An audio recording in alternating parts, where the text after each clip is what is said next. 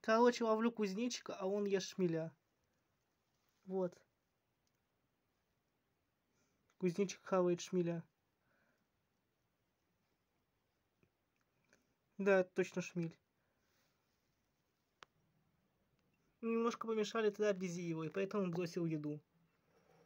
Он собирался с этого шмеля съесть, кузнечик.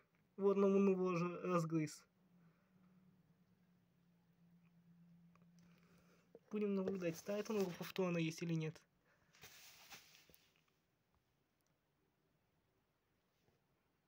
А шмель вот живой, видно.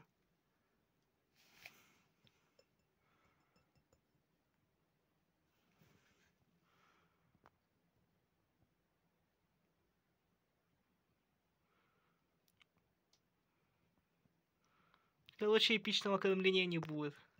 Или поедания точно не будет. Что кузнечик не хочет есть.